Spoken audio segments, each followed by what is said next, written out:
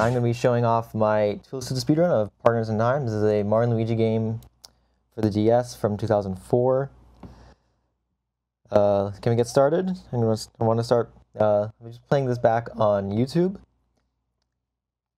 And um, let's see. All right, let's just get started right here. Should I count down? All right. Three, two, one, and go.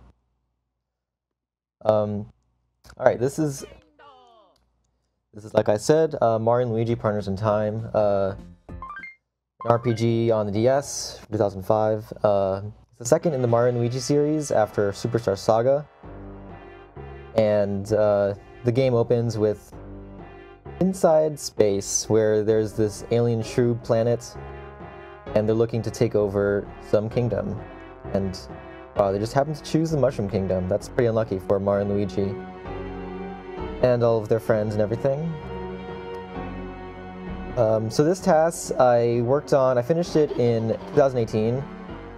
It actually only took me a couple months to make, um, but routing it took a lot longer.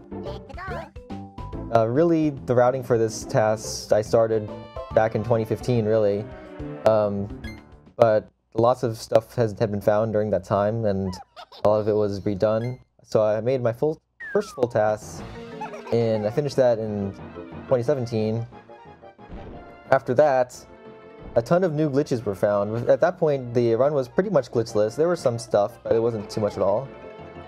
And then a ton of glitches were found by um, Solidified Gaming mostly, but also a few other people, um, like really tall.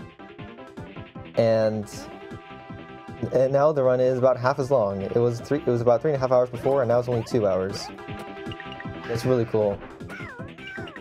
Anyways, this is the first tutorial battle against Baby Bowser.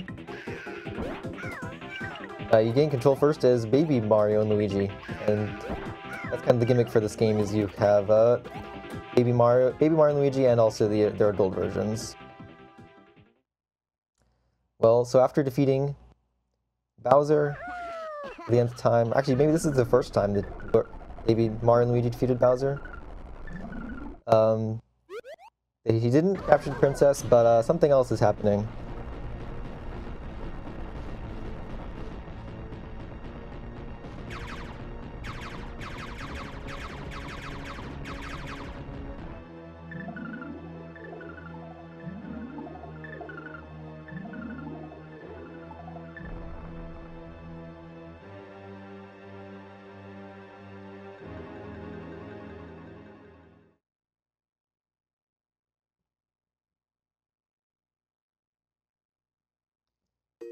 After seeing the Shroobs just uh, destroy the castle, we go back to the future where um, Gadd from Luigi's Mansion invented a time machine and sent the princess back in time.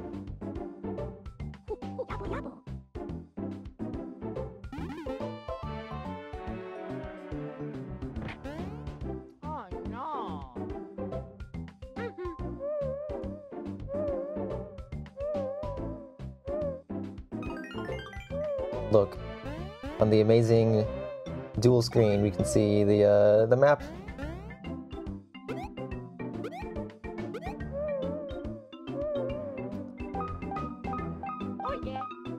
So here's the first time we get to see some real movement. Um, there's some really small uh, movement uh, tricks in this game, such as right here, Toad Boost. Um, by jumping into the, the hitbox of that Toad, get boosted a little bit. Saves like, I think that one saves like one frame only.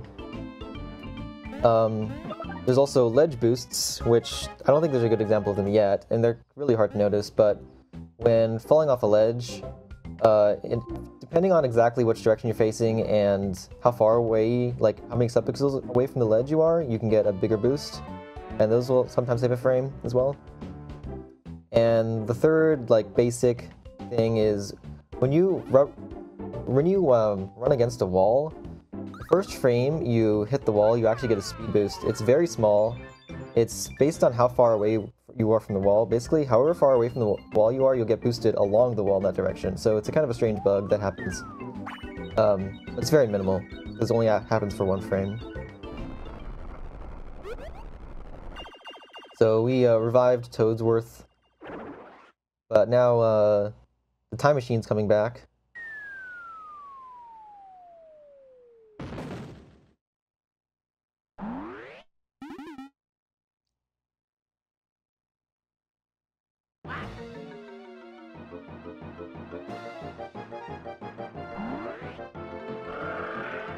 And inside was a monster, not Peach.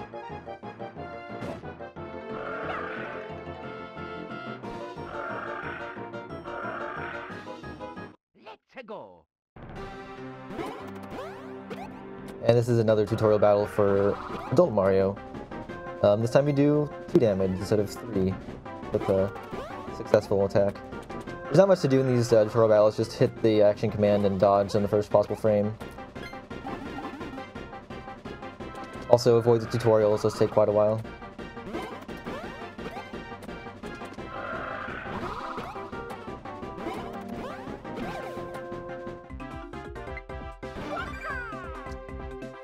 So on these uh, level ups, we're gonna always upgrade POW because yep, this is a speedrun. We have to do as much damage as possible. That's how it works. Um, HP and defense are not useful because we're gonna be super underleveled. We're gonna have to dodge everything. Um, and there aren't um, there are there are a few. So this game, uh, one of the special things is that you can dodge any attack Except for there's actually a few exceptions to that of attacks you can't dodge, but we will avoid all of those anyway in this game, in this run, so it's not a problem.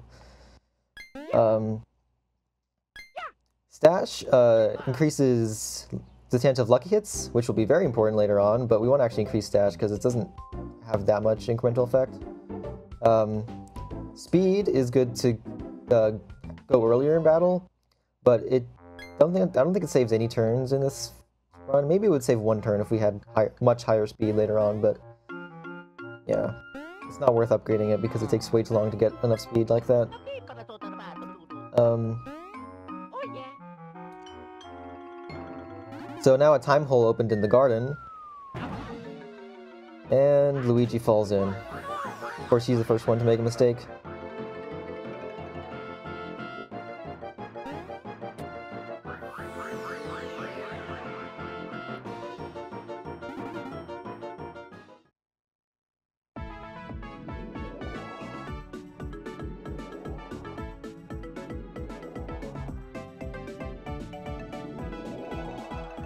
Takes us to the past, uh, where mo most of the action takes place in the past, because um, that's where that's the time period in which the Shroobs actually are invading.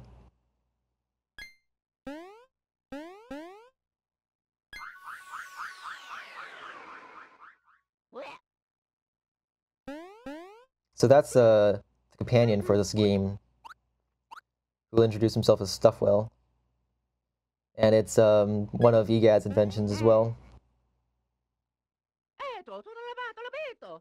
Hmm.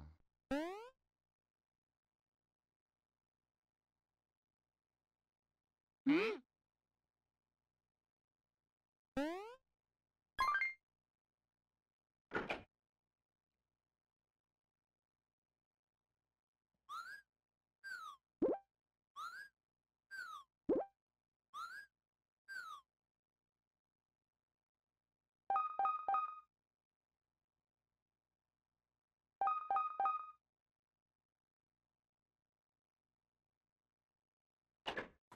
All right, you mind if I jump in for a bit? So we got a 50 edition from our previous runner, Tompa runner Tompa, who says, "Let's see some swordless action."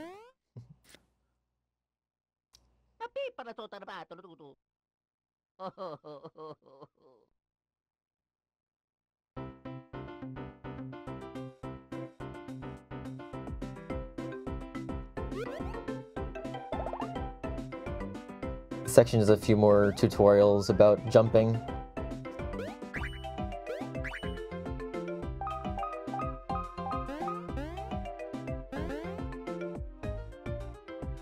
Uh, here we can actually, uh, the cutscene trigger is only on the ground, so we can minimize camera movement by triggering it uh, further to the right. And then for the next uh, tutorial trigger, the trigger's again on the ground, and we can actually jump over this one. It's actually thin enough to just jump over. But it's a bit tricky to actually hit the blocks while doing it, so I think I really like how that looks.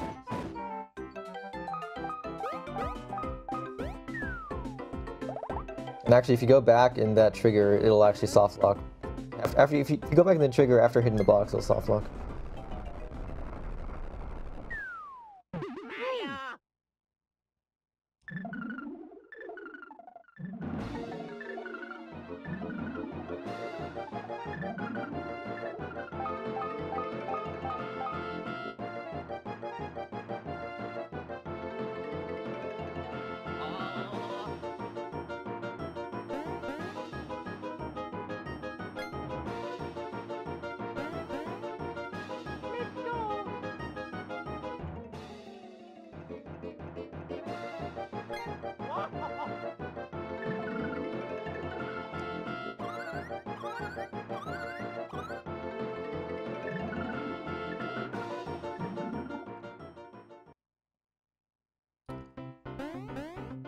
Okay, so here's another um, tutorial battle. Also in this section, you're going to see the first use of something called stair jumping, which is a technique that allows you to climb stairs faster. Normally, um, actually, let me explain that afterwards. This, in this battle, um, we attack the bottom one first because the animation is actually faster for the top one attacking. Um, I believe that's the reason, at least. It's been a while. basically, whoever we leave alive will attack, and this one has slightly fast, faster animation. Um, and uh, you can see how much more damage Mario is doing than Luigi. That's because he's level 2 and Luigi's only level 1. Um, the, the damage you deal is actually like multiplicatively based on your level as well as your power, so level 2 you do a lot more damage than level 1. Anyway, so the thing I was trying to explain before, stair jumping. Normally when you walk up a stair, walk up stairs or slopes, uh, your speed is decreased a lot, um, depending on how steep the slope is. But if you jump up the stairs, then you can keep normal walking speed. And if you if you jump uh, facing not facing up the stairs, basically. So if you face uh, horizontal or back uh, back down the stairs, then you can have normal jump, normal speed up the stairs in the air. But the TAS, it's kind of hard to see because the only I only press like in this case up for one frame, so it just looks like I'm jumping up the stairs.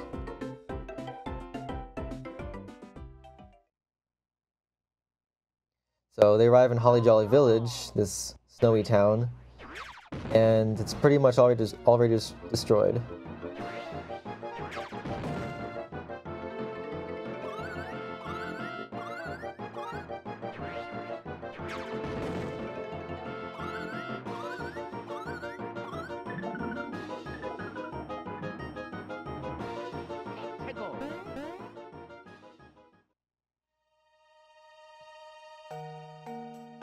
Lot of uh, wall boosts in that uh, little section right there.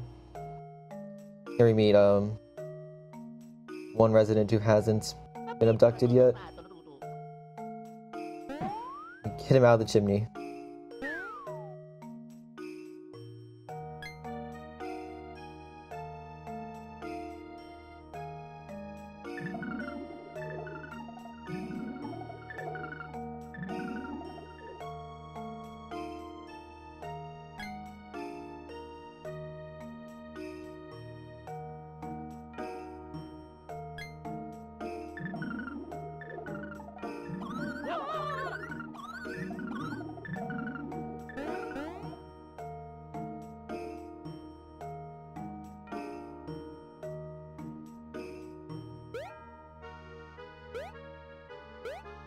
So the Shroob language um, is all made up of these uh, nonsense characters, as you can see. There's one word that, in particular, that stands out among them, and that's the one you just saw them saying with two characters. Later on in the game, they give you a translation, and that one just means destroy. So in this uh, battle, the animations for attacking Luigi are faster.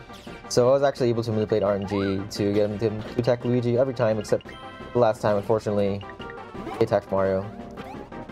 There's actually no way to win this battle without cheats. So, yeah, after two turns, um, you just immediately die. I don't know why I had to wait two turns for that, but I guess they were charging it up or something. Anyway, that sucks. They're, they're dead now.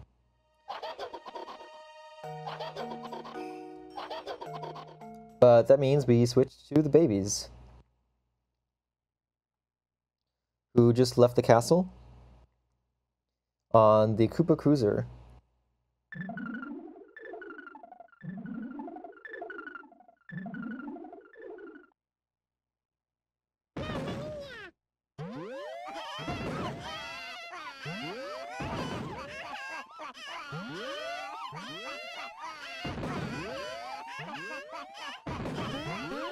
And this uh, baby crying is also one of the more memorable parts of this game. It's pretty loud.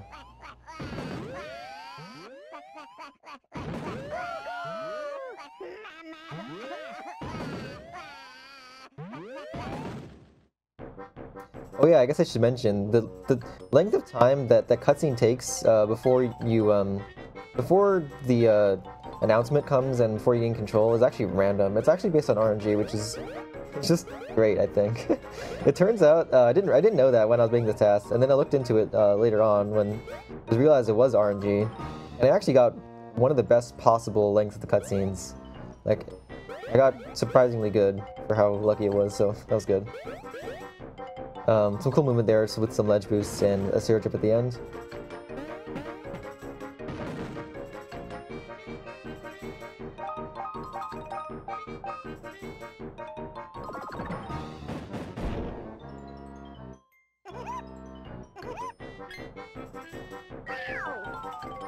Yeah, baby Luigi crying is a plot point. Yep.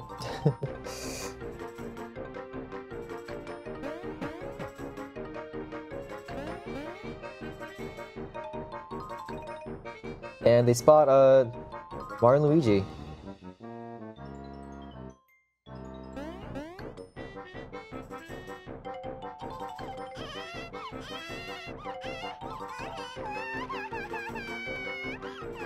Better than baby crying is baby Peach crying.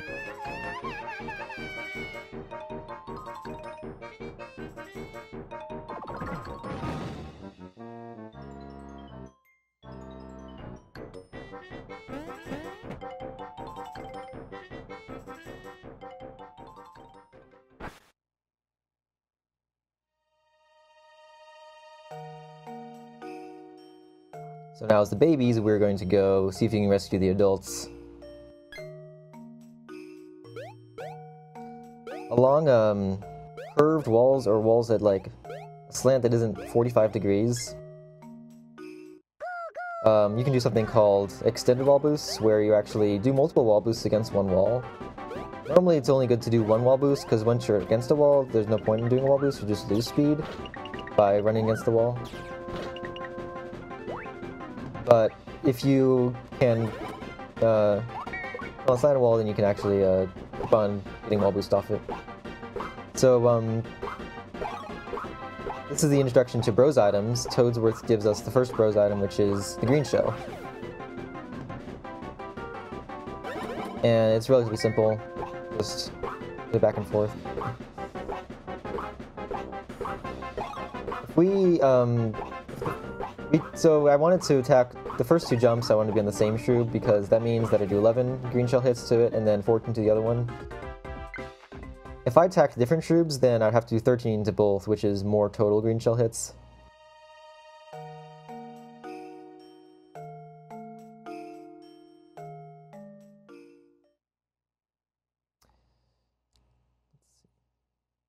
Something I haven't mentioned yet is uh, the version that we're playing on. Um, there are a, good amount of version differences between them between the games for this game. Um, the first one was the U.S. original release, and shortly after they made a revision which fixed a bunch of bugs. And then eh, for the uh, international releases, they uh, they reduced a lot of boss health, and they changed, well, they changed a lot of enemy health, actually. A lot of stats were changed. But the most important thing is that they reduced boss health, especially in the final boss. It's particularly notable. Um, I, I think it's something like 3,000 less HP. I should really know the exact number. Um, something around that area, where it's like about a third to half of the HP was reduced on of the final bosses.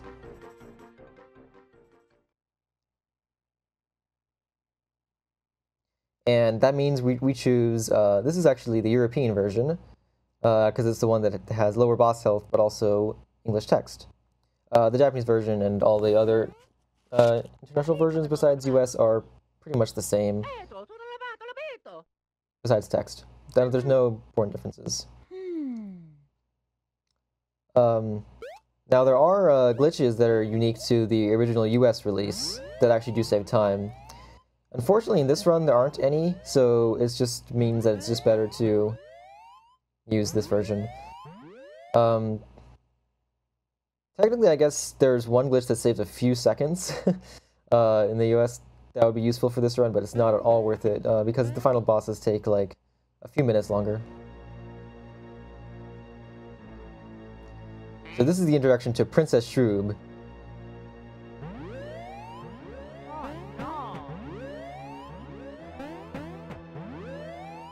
Who sends this missile at the Koopa Cruiser?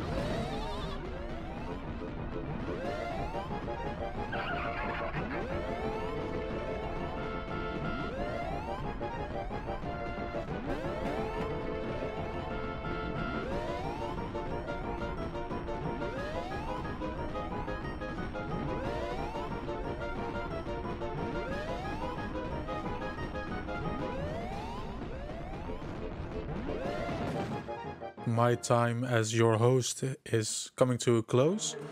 I will be handing over the hosting duties to the lovely voice John Gabriel. Thank you. Be happy stream as well.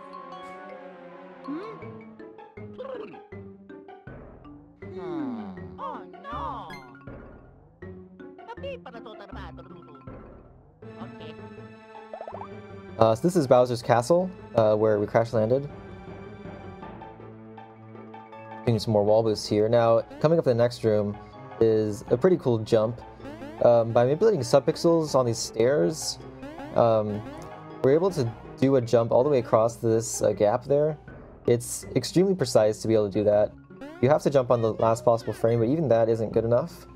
You actually have to do a wall boost in the middle of the jump to gain slightly extra distance. And it has to be a really good wall boost too. That's why you have to manipulate subpixels. Um, do some, basically, you have to do some wall rubs to get good subpixels to do a larger wall boost. Uh, to be slightly further away from the wall um, when doing that jump. And it saves like something like two seconds. I don't really know exactly, but it's really amazing that's even possible because it's yeah.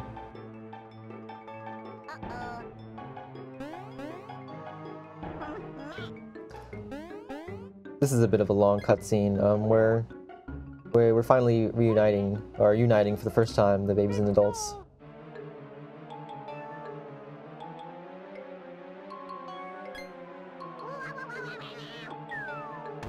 And you can see it.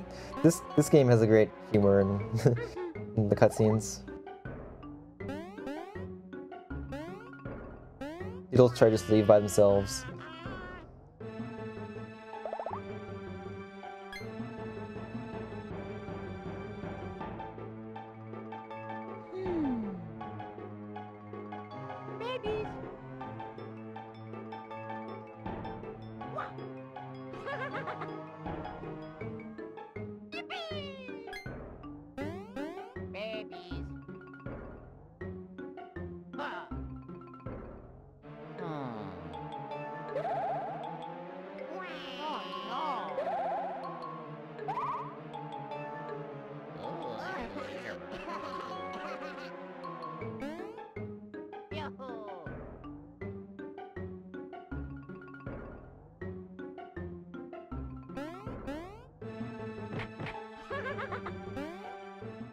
So here's where you first learn about, you know, switching between the babies and adults. Uh, when you have control of, say, the adults, you walk with the adults But um, you can also jump with the babies um, if you if they're like on the same screen. Uh, so you can jump with um, one pair that you don't have control of if the other one's in the air, while maintaining control of the one control of the pair that you do have control of. Probably sound a little strange, but it'll come into play later on. Um, nice movement there. Hitting that block actually saves time because it allows you to do a ledge boost. Um, yeah, these pipe blocks, um, they take whatever pair you hit them with, you take the other one, um, transport the other one to you. They'll be useful in a few places. And for these blue switches, there's a particular position on them that they will always walk to um, when you jump on them. And so it's fastest to just jump on that position right away because the walking they do on that switch is really slow. And most of the time I can get in the exact position that they walk to. Sometimes it's within the same pixel, so they have to walk for one frame to get to the exact pixel. So here's another tutorial battle where you learn to jump with the babies as well.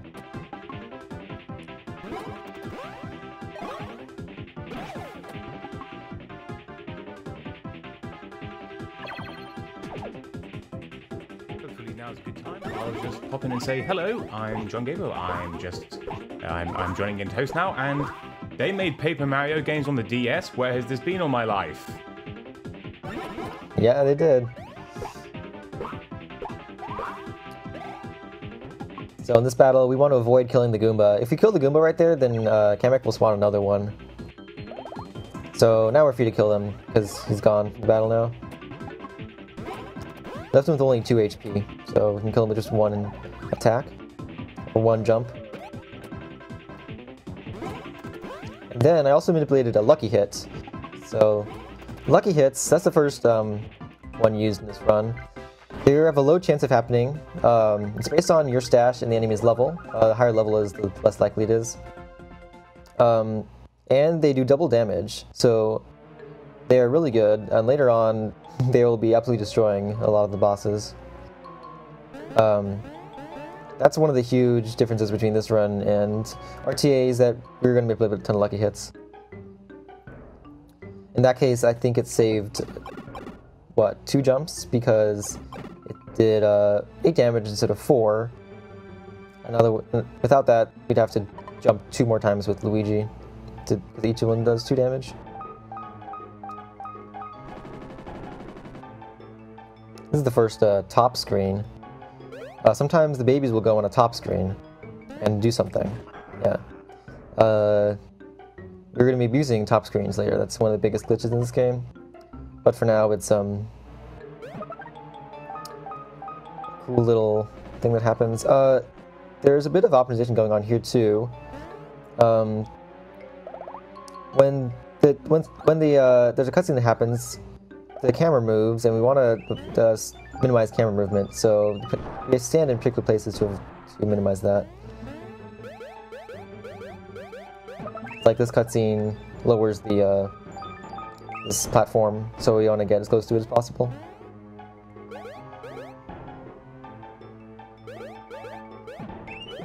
Then we can fall off during this during this bridge spawning cutscene. And also um, by stand by uh, reuniting uh, and adults, uh, it stops the Bullet Bill from hitting us. Now here's a really complicated glitch. I'm gonna let it play out and then explain it. So, what? Let me just first explain what what is that supposed to be. Um, so that's supposed to be a a room that's completely pitch black, that's with difficult platforming, uh, and you're supposed to hit that shine block to make it light so you can see. It only happens. It only works for like a few seconds. Um, but what we did is jump into the spikes while the shine spawning cutscene was happening, and this actually gives control to the babies uh, while on the spikes. Um, and then we also then read the sign. Sorry, so reading the sign and then uh, quitting out while the babies are still on the spikes is what gives control to the babies. Because they're on the ground, the spikes count as ground. And so as long as you can be on ground, you can gain control of them. Um, but we actually gain control during the spike spawning cutscene. And that means we actually have control of. Uh, only, it only gives you control of Baby Mario. And the weird thing is that jumping doesn't jumping doesn't work normally. Like you, it's still you're still during the the um, getting hit by spikes cutscene, so they're being flown up into the air. Uh, but jumping will make you jump normally, so it makes you fall down to the ground level and then back up to the sky. If that count that as normal. So what we have to do is go to, to the loading zone. To actually take the loading zone, you have to be facing downwards. And actually, during the cutscene, you can't change your facing direction. So I had to face downwards before the cutscene started. So yeah, that's a pretty complicated glitch. It's probably one of the most complicated in the whole run. And it saves a few seconds. So it's pretty cool. Um, so we found another time hole, and now it goes back to the present time.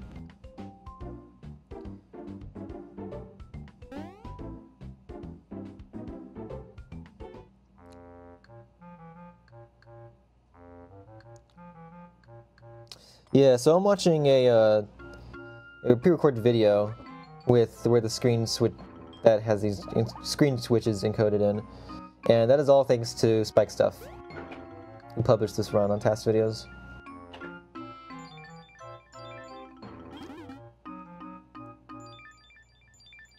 So we found this star shard after the dark room, and it's agitating uh, Junior Shrooboid there.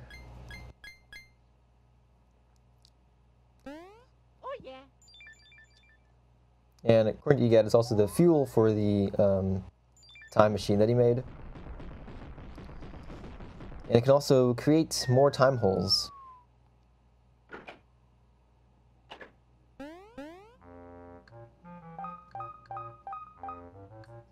Yeah, Is sure, go now a ahead. good time for me to jump There'll be a bunch of cutscenes coming up. Ex- excellent. We have just received word of a new incentive. If you incentive, if you want to see some brand new content during the secret block coming today, this content was literally created within the last, and there is a new, there is a new $350 donation incentive to get. Let's see it. So let's get those donations in. I think you cut out there a little there. You might want to explain it again. Sorry, did I? I think you cut out a little bit, yeah. Okay, so as you know, we have a six block TAS block happening later today, and we have just created in the last four, last 48 hours some brand new content for it. Have a we have a donation incentive of $350 to see that stuff, and I happen to know people who are very, very keen that they should see it, and of course, it is for an excellent cause. So, donate, you get those donations in. Let's see some awesome TAS stuff. Awesome. Some more awesome TAS stuff, Thank I you. should say.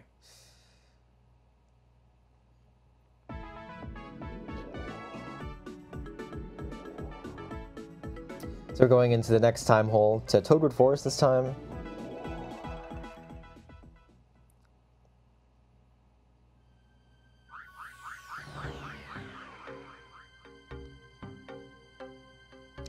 And I guess this is kind of where the game really opens up and so you start having fewer tutorials. We grab some bro flowers. Those will be extremely useful.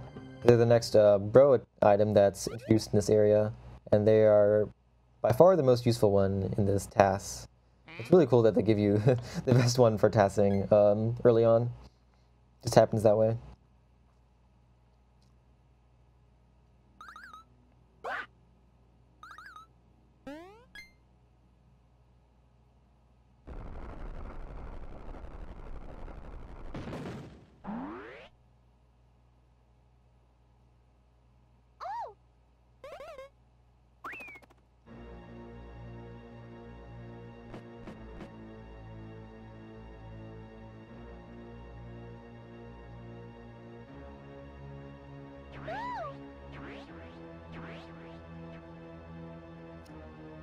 This toad is is explaining what's going on in Toadwood Forest. Um, the Shroobs are sucking out the toad's energy, or Vim, go, and taking it to the Vim factory, which is this building you're seeing right here. Trap them in trees. Not sure why the trees are relevant, but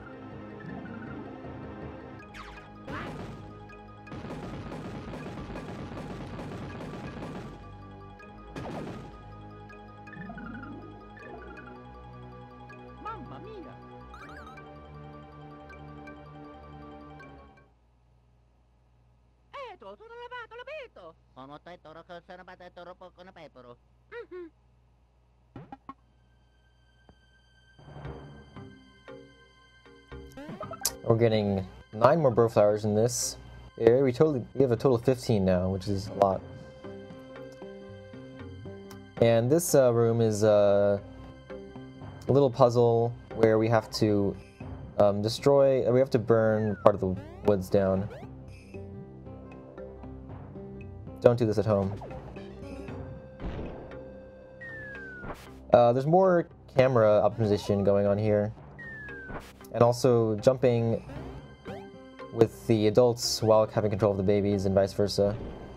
Just because it helps the camera be move faster. So you see I jump with Luigi there while having control of the babies.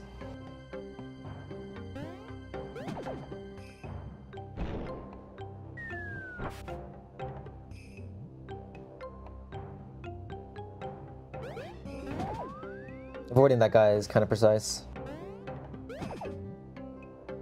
Oh yeah, we actually just mentioned we are avoiding encounters, but um, later on in the run, we actually will have to fight some encounters just to uh, get a few levels at the end. Um, because we're going to be really underleveled with all the skips in this game now. And so it's actually very important to level up a little bit. But by far, the enemies that give most experience are in the final dungeon, so we're going to wait until then to do any grinding.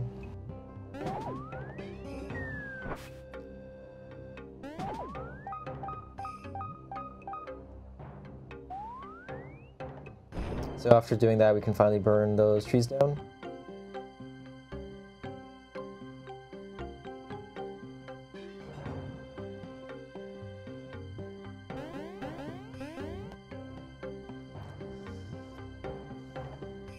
And here we use a pipe lock. Since the um, babies were stuck on the stump on the top screen, kind of far away from the exit to that area, it's much faster to use the pipe lock there.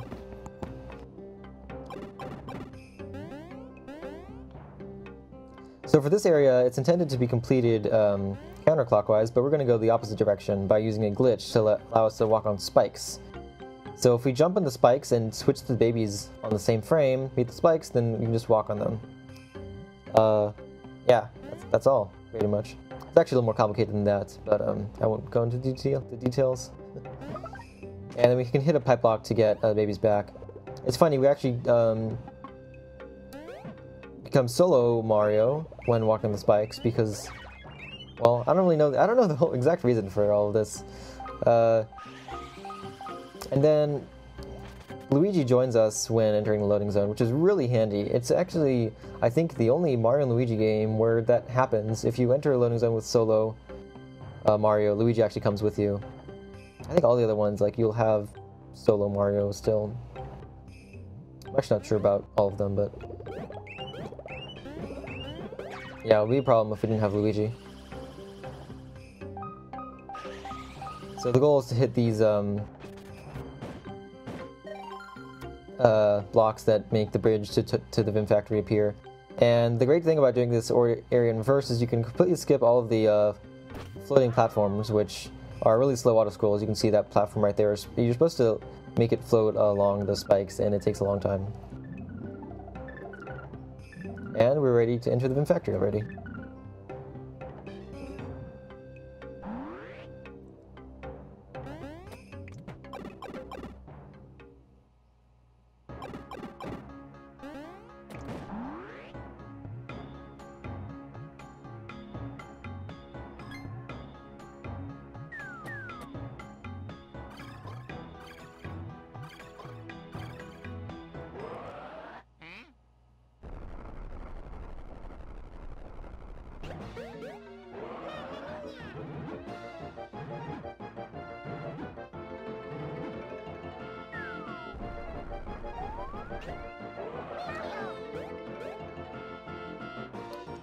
Uh, so at the start of Vim Factory, the adults get captured, and now we have to fight the Hammer Bros.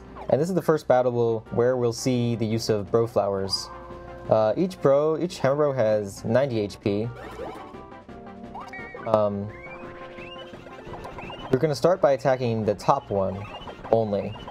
So the so Broflowers, what they do is they you throw a bunch of fireballs, and they will each target a random enemy. But we can, of course, manipulate them to ta target any one of them.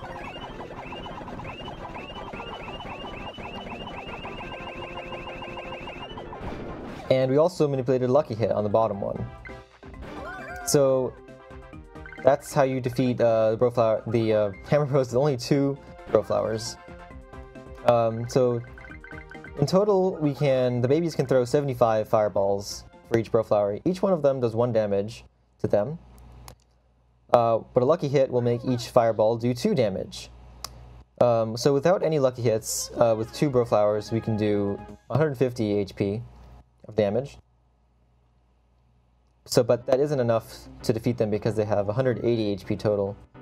So we have to get a lucky hit, and we want to get a lucky hit on one enemy and do the most damage to it with that lucky hit because during that Broflower, uh, each fireball will do two damage to that one. So to, to, to throw the fewest fireballs possible, we wanted to uh, attack one of them more in the first flower, and then the second one attack the other one with do the do its entire damage with one lucky hit. And here we get to use hammers, uh, which you can use to break blocks and also drill underground. There's a fun little optimization you can do uh, with drilling, where when you the animation for spinning it to the ground actually depends on uh, the angle you're facing before pressing Y. And the fastest is to be pressing up left. Because if you press if you're pressing up, then you have to go all the way around uh, clockwise until you get back up again. If you press up left, then you just turn uh, 45 degrees up, and then the animation starts. And so before spinning, or before drilling, I'll always face up left.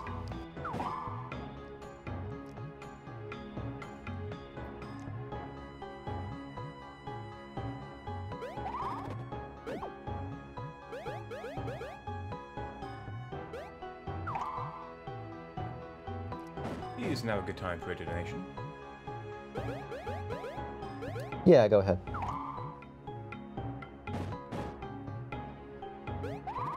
Nope. If not, then uh, I definitely do have something to explain. Um, there's an out of bounds clip uh, right there. Uh, by uh, that corner is a little bit glitchy. Uh, by going, um, let's see. I actually don't have time to explain it.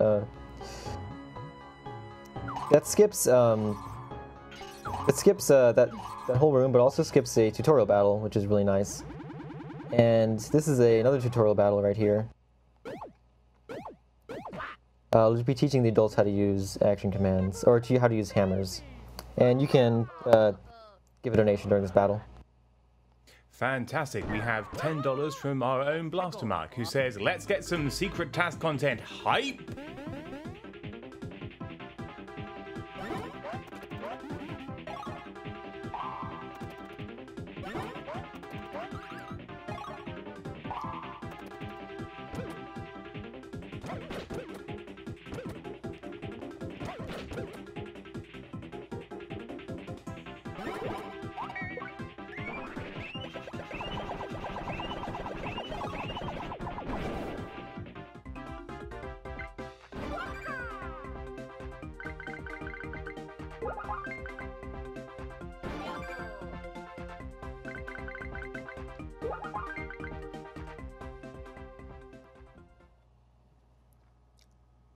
That battle, we got um, hit with the by the those attacks because countering them with the hammer actually is a little bit slower. Usually, it's not. Usually, it's the same speed or faster to counter it, but in this case, the actual animation is a lot longer. So now we can continue on with the Vim Factory with the adults and babies together.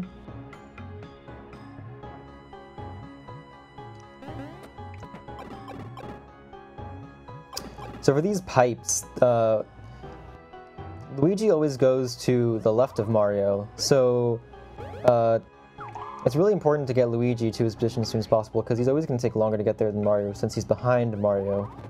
So we kind of want to go as far to the left on the pipes as possible. In that case, you didn't really get a good look at it. Um, But here there is another glitch called a, a ledge clip, where we can clip on top of that ledge into the box and break it. And the way that works is um, some ceilings are too low to fit a stack um, when, the when the babies stack on each other to drill, or later the adults when they're doing spin jump. Um, but if you're one unit under the ledge, and you're facing, and, the, and maybe Luigi is on the right of Mario, then you can stack. And if you walk upwards, then you will actually clip up to the top of the ledge because it looks for the next floor to place them on, I believe. And right there, it was really precise um, jumping to that platform while without making it stop first. I think there's like three frames to, to do that jump.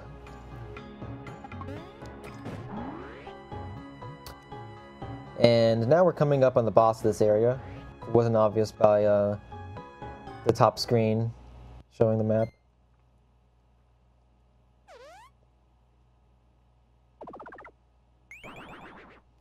And this is Swiggler, and it turns out that the Vim that's being sucked out from all the toads is being used to power their saucers.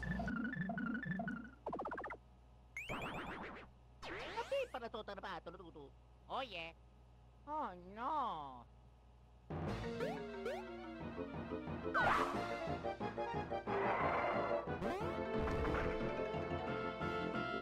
Yeah, knocking over the Vim juice certainly gets Swiggler upset. This is the token Wiggler boss battle in every Mario Luigi game.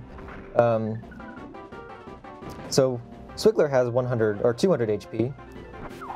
Um, with flowers, remember we can, uh, this, the, the adults can shoot 74 fireballs, but we're gonna get two lucky bro flowers.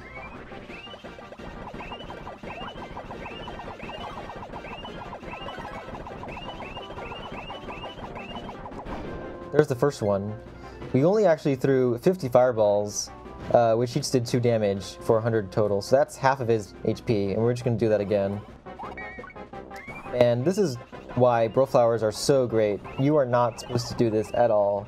In fact, his defense is supposed to be high in the orange state. You're supposed to lower his defense and and uh, then attack him and maybe do like 20 or 30 damage each turn.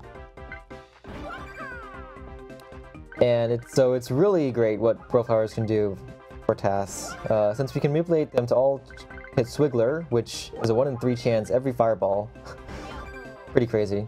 And also manipulate the lucky hits to double the damage.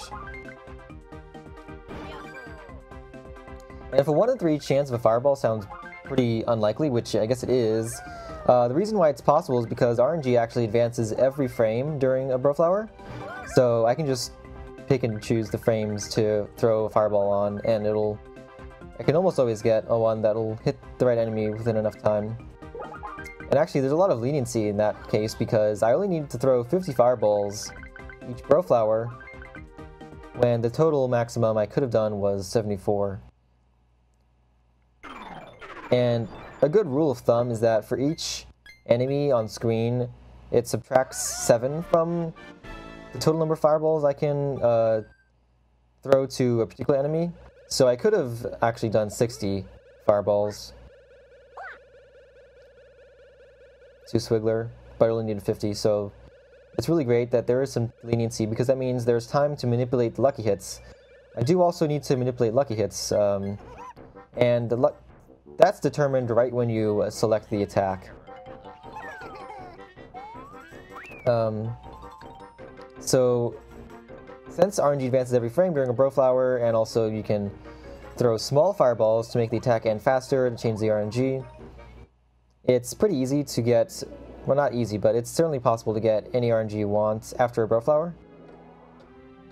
Um, but before Broflower, so for example, when manipulating the first one, there wasn't really much opportunity to uh, advance RNG before then.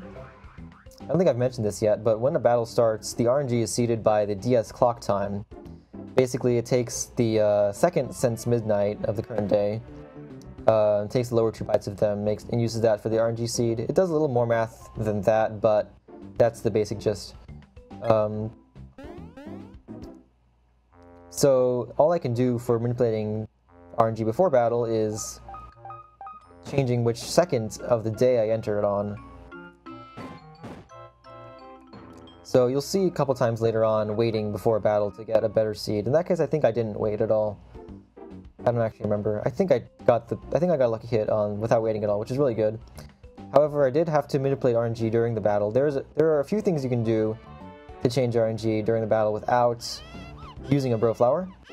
One of them is taking damage. You, at the beginning of the battle, I took damage with Luigi. Uh, this advanced RNG once and helped get lucky hit. Another thing you can do is watch the bro flower demo. And at the start of the demo, it actually advances RNG to determine um, which bro will flow the will throw the fireball in the demo. And you'll see that being used later on. I'll, I'll point that out when it happens. In that case, I only have to take take damage once with Luigi. Anyway, so we're back in the present, and we got another Cobalt Star Shard, and now we're learning a new move, Spin Jump.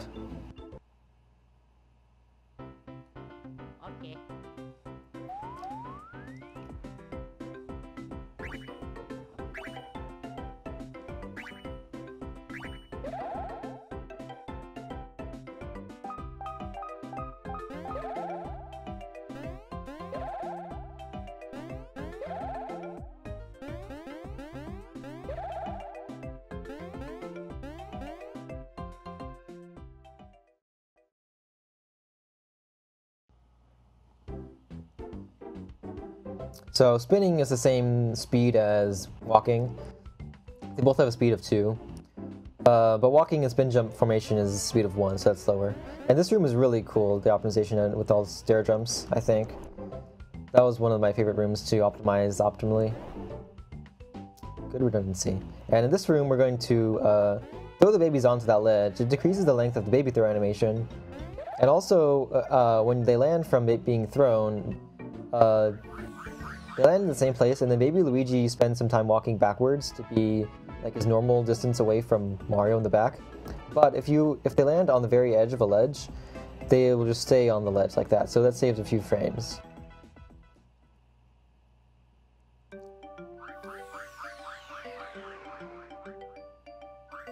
And now we're in the next area of the game, Yoshi's Island. We're gonna do a ledge clip with the adults now. Now that we have uh, spin jump, we can do ledge clips with adults as well. And there are a bunch of cutscenes that you're supposed to watch to, to get past that house first. Uh, but we can skip all that. It saves like three minutes or something. And then there's another cutscene inside this house we can skip the same way. Uh, this is that's one place where I know that we can save some time. Um, you can sometimes it's necessary to spin to do a ledge clip. Sometimes you can just walk. Uh, since making of the TAS, I found that you can just walk, and it saves like I think it would save 14 frames right there. However, since we need to wait for RNG for battle for RNG seeds for battles later on, it actually doesn't save any time overall. Since we'll just need to wait longer for the next uh, battle before. So here, um, Kamek is creating some fires that are going to block our path. Well, they're not really going to block us because we're going to skip this entire area. Um, so this is one of the hardest glitches to explain correctly. Uh, I'm basically going to, the goal here will be to, in the next room, to activate a spring and the, loading zone at the same time. And what that'll do is send um, the babies to the top screen in the wrong room.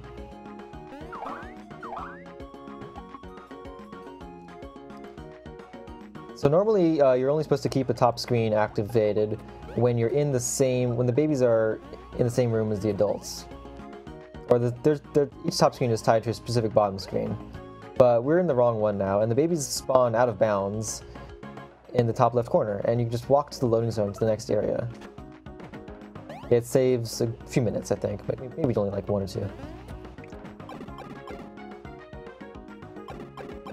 And so we're gonna do that glitch again, and I'll kind of explain like how exactly you managed to do that to get that to happen. Um, so normally you can't take a spring unless you have control of the babies. However, um, or you can, the more important thing is you can't take the loading zone unless you control of the adults specifically. Um, so the trick is is taking the spring without having control of the babies, and that can be done by jumping. Remember, you can jump with the babies if you have control of the adults as long as they're in the air. Um, so we get the then the task becomes getting the babies in a position where you can have baby Mario jump and land on the spring without actually moving left or right or anything. And so the way that's done is by clipping into the spring so that baby Mario is underneath the spring inside it. And that's the way that's done is kind of strange. You kind of have to like walk off the edge in a funny way and then walk back into it. And you'll see that uh, the next room coming up soon. And here's a pretty precise shot. It's pixel perfect. And we also can um, uh, join the adults during that cutscene with uh, extinguishing the fire. So up in the next room is a boss battle with Kamek. We're gonna skip that battle with top screen storage, like I said earlier. Um, but that requires entering this loading zone coming up with the solo adults. So that means you have to first open the door to it, and then we will go we will go back and do Kamek skip. So we keep the adults near the loading zone, and the first step, like I said, is to clip the babies into the spring like that, and then we can activate the spring and the loading zone at the same time. And then the babies are out of bounds, and you can see them walking right past the trigger for the boss battle into the next room. And so that's Yoshi's Island. It's pretty crazy how much we can skip in it. I think it's about... The skips basically cut the time of it in half, or maybe more than that.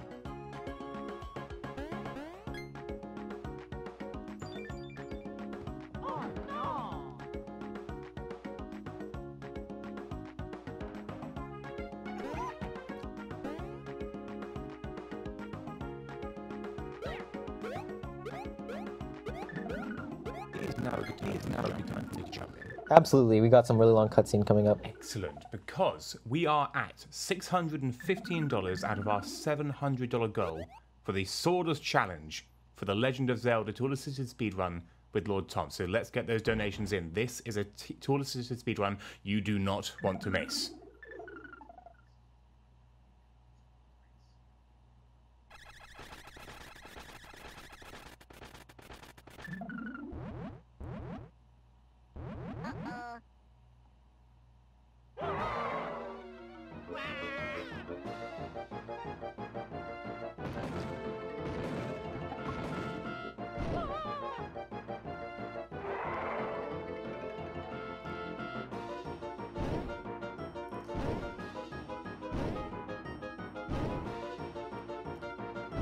This monster is Yub, who we were supposed to see earlier, but uh, actually never really saw him until now. And he just decides to eat everybody.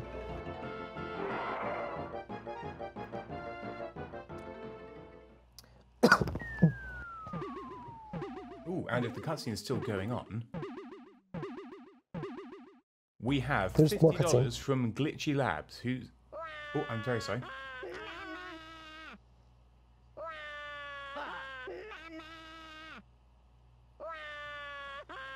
Sorry, is now a good time?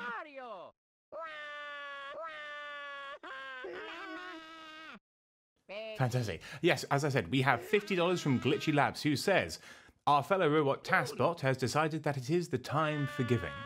With what we have seen, this TASGiving has been very generous. The generosity could not have gone to a more fitting recipient either. We would like to chip $50 into the total, as well as give out a great, a great round of applause to all who have donated. Our combined continued support is much needed by foundations that are here to help everyone, especially when they ask for nothing in return.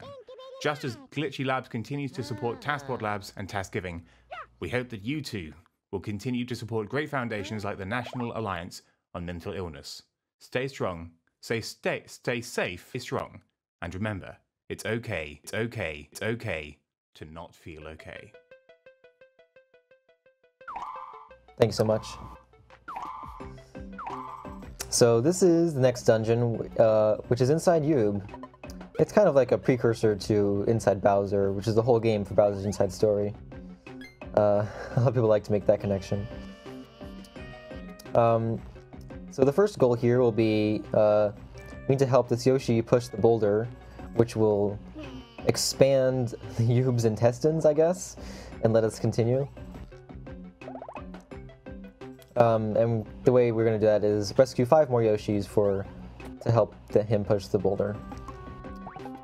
Right here, uh, we have to get this fruit, and we can actually overlap the cutscene with getting the fruit and ping and the baby's coming out of the stump. And the funny thing is, um, if you collect the fruit with the adults, that means you actually have to give them, give it to the Yoshi with the adults. Like you can't just give it with the babies only.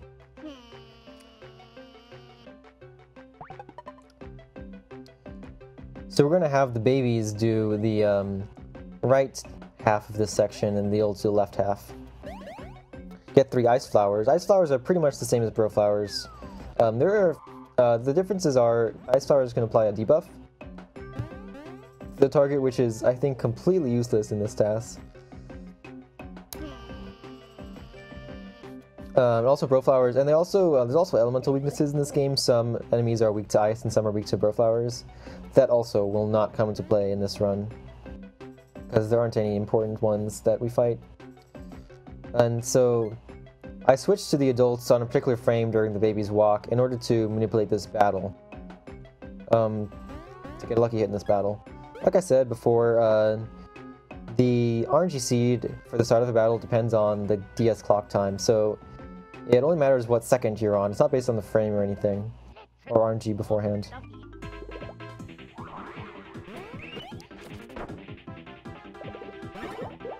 So there I, uh, I waited a little bit in the bro item menu to watch the, uh, to watch the demo for the bro flower and bro, and the ice flower. Oh, and it got a lucky hit there. I mean, that was to me a bit lucky hit. And I just realized that I lied because those RC Shroobers are actually weak to ice flowers. so that's the one case where it actually does matter in this run. Um, a lucky and critical hit. So normally uh, elemental weaknesses will double the damage dealt, so that's called a critical hit. A lucky and critical hit will actually do three times damage. Here we're going to do another ledge clip to skip a little puzzle here.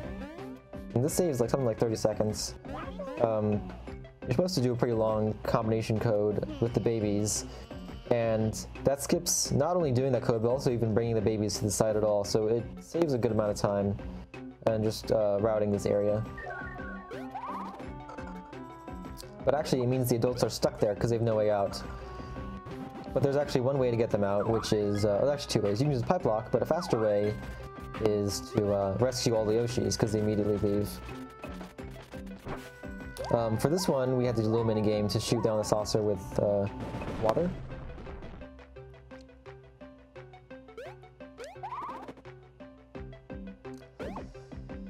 We can fight the RC Shroober. So, um, normally uh, adults do more damage than babies, but for for flowers it really doesn't matter because they're all going to do one damage per fireball still, or ice ball in this case.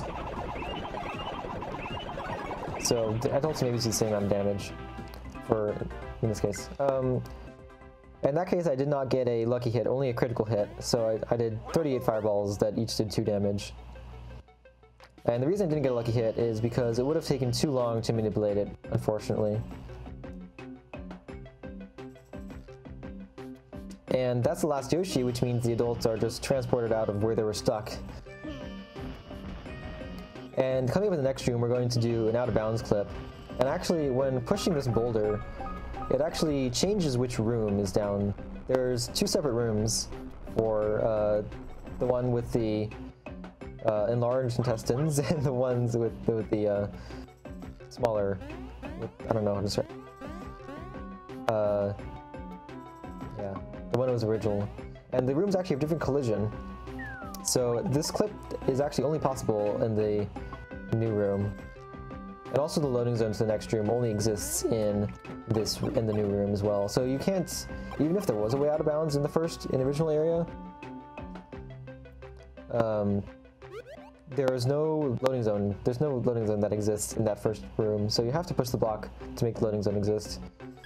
Be really nice if you could skip that part. It seems so like we're pretty close, but it's actually impossible as far as we know.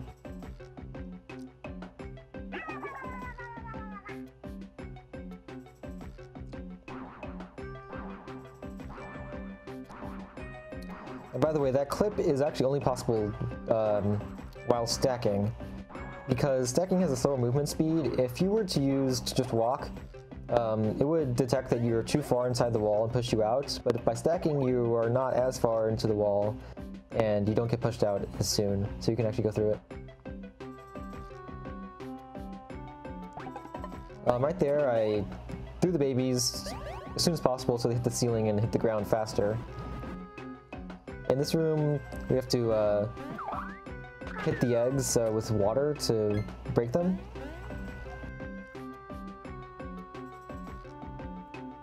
There's some more camera manipulation here to save the most time. There's not much option we have to do though with the camera though.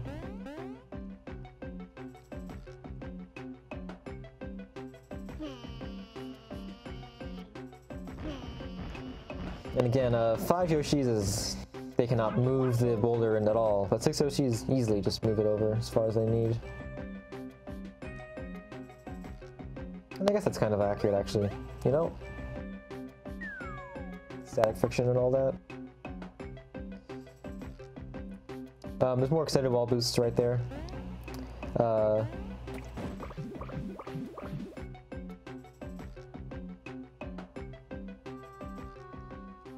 So here we meet uh, Toadbert again.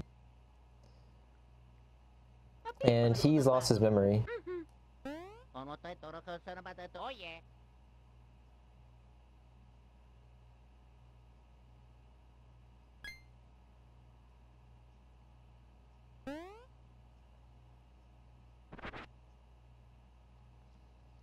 Yeah, but the only thing he has is this drawing, which doesn't really seem to show much right now. Um, later on in the game, you're supposed to brush off the dirt and reveal a secret in that drawing. But we're actually going to skip that part. So, and that's the only use of the touchscreen in the whole run. So, this is actually a no touchscreen run of Partners in Time.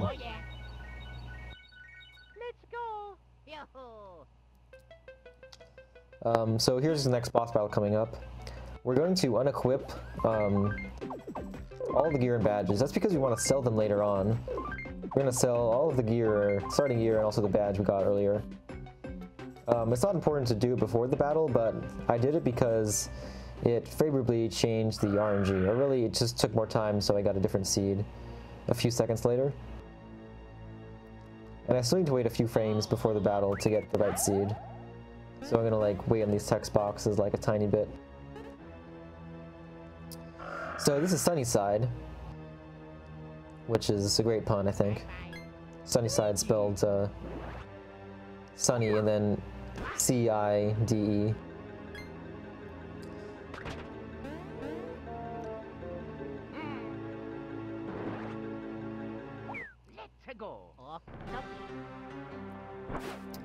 So there's a lot of RNG in this battle again. We want him to throw as many eggs as possible, which is four eggs, so that there are fewer enemies on screen, which means we can throw more fireballs to hit only Sunnycide.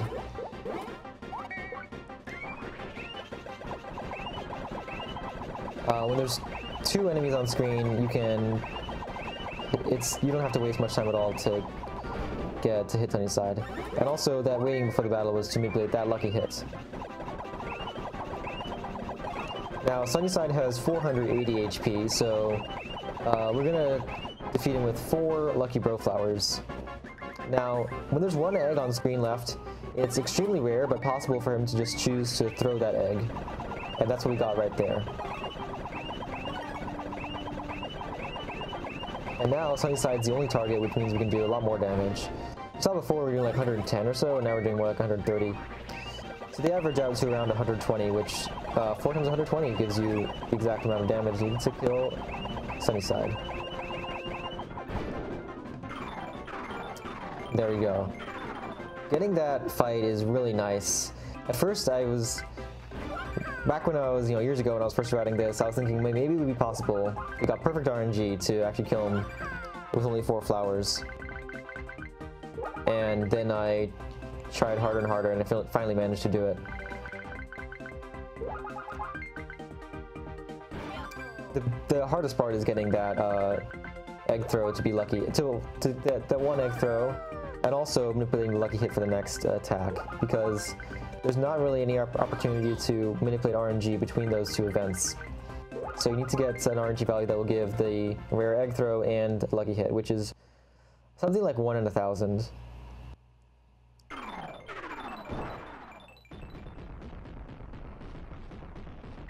Maybe maybe not that rare, one in 500 or something, something like that. The lucky hits a few percent, and the egg throws about one one in 10.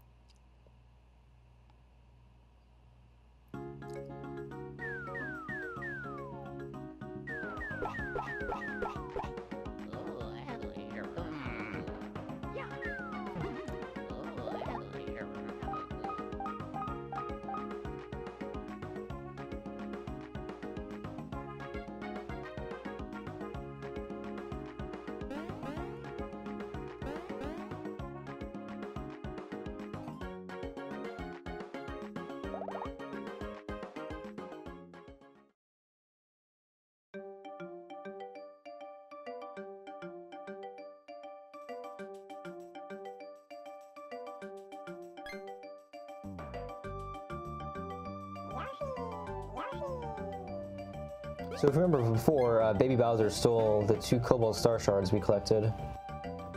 And then uh, later on, he ate them. Um, but now he's eating so many Yoshi cookies that he spat out the shards.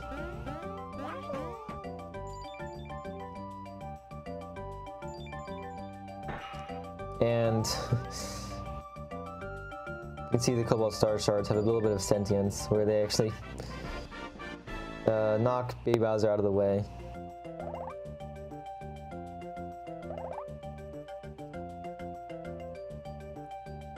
So coming up is where we're about to pretty drastically break the game.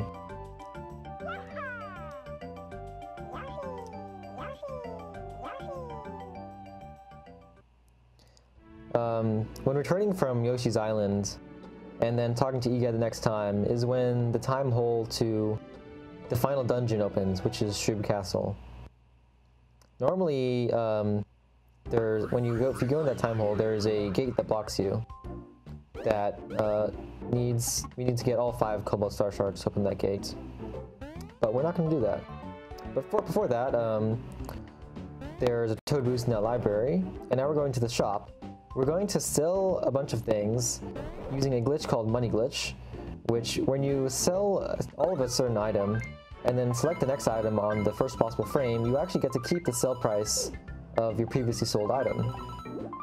And so we sell the salvage badge, all the starting gear, and eight smash eggs I picked up in Yoshi's Island for a total of 49 coins each, which is the sell price of the salvage badge, and got over a thousand coins. And then I bought two big POW badges, which is a badge that uh, gives you a POW boost after getting a great rating for a bro item.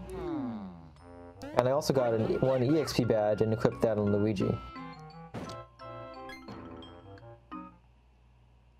So right there you saw in that cutscene the time hole to Shroob Castle opened.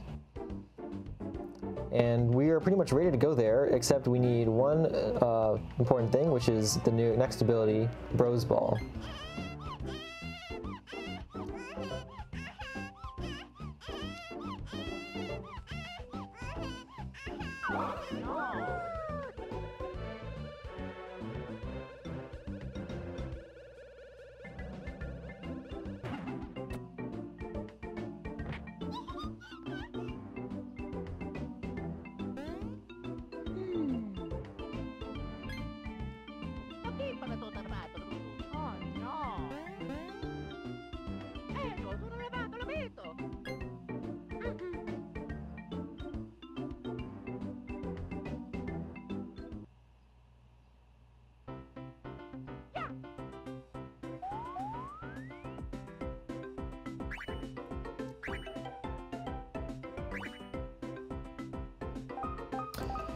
So, uh, Ball allows you to move a lot faster than normal, so we're going to be using it a few times just to move faster. But it requires you to be solo adults, so in a lot of cases we can't really use it because we need to keep the babies too. Another cool optimization that we can do is that when you form the Bros Ball, uh, the ball actually is formed 8 units um, behind Mario, which is normally between Mario and Luigi. But if you face um, the other direction that you're walking, it'll still form behind Mario. So if you face backwards, then behind Mario will become the front of him, or the way you're going, basically. So that's what I'm going to do whenever I use Bros Balls, face the other direction. But it's interesting that this displacement actually can allow you to clip through some walls. It's very situational, but it so happens to be useful to do the next major skip. So we're going all the way to the third floor to go to Shroob Castle right now. So this time hole is available as soon as you complete Yoshi's Island, normally.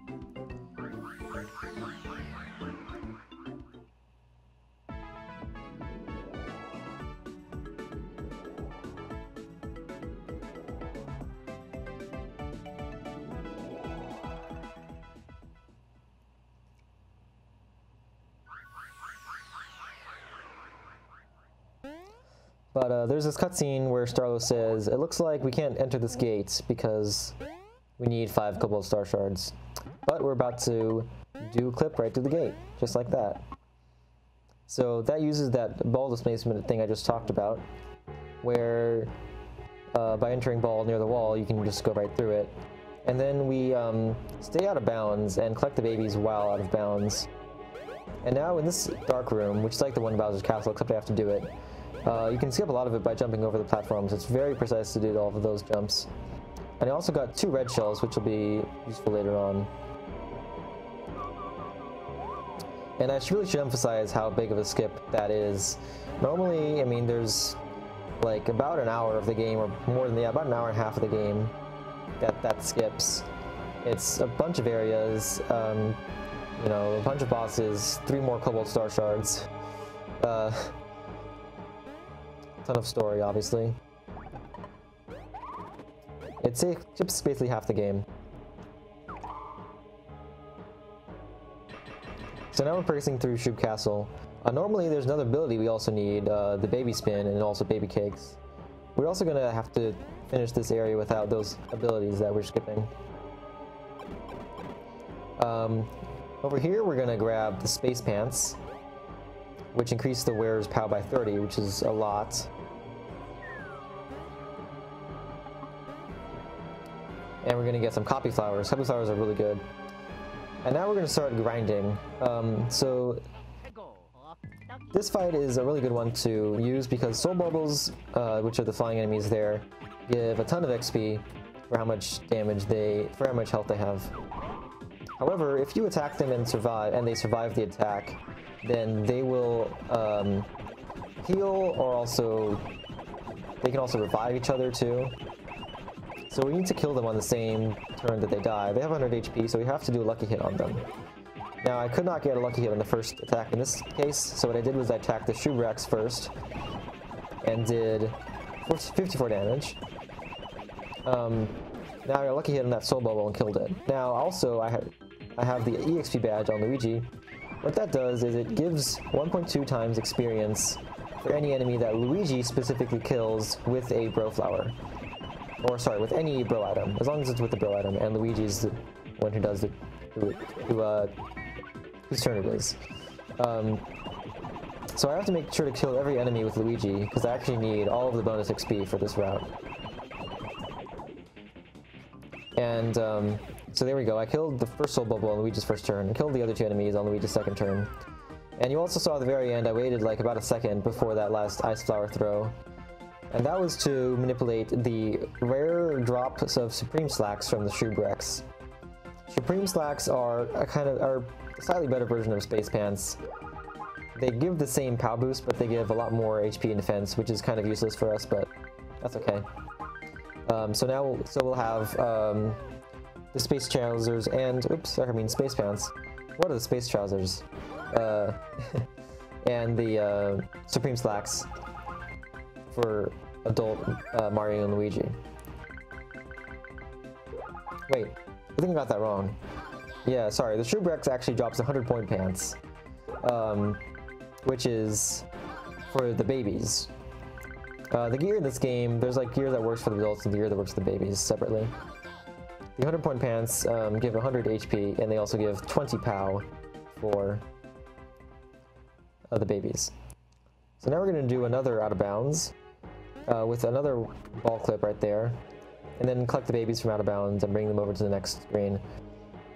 And before that was found, it was actually necessary to get a baby spin to complete the final dungeon. So that requires another like hour and a half of game, or sorry, another half hour of gameplay or so. So that's saved about 30 minutes when that was found. So mean you didn't could go right away without having to go get a baby spin first. And now,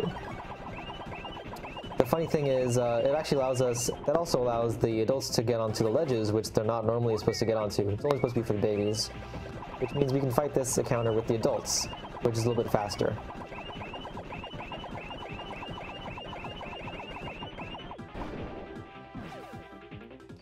and we defeat with two Flowers again, and defeat them both with Luigi.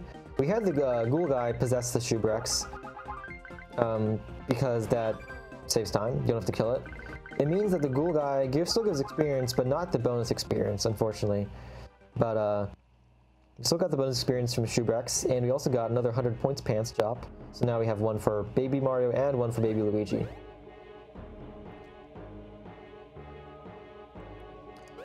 Also, I think I should mention that um, that Shroob Rex is one of the uh, few enemies in the game that has an attack that actually can be undodgeable.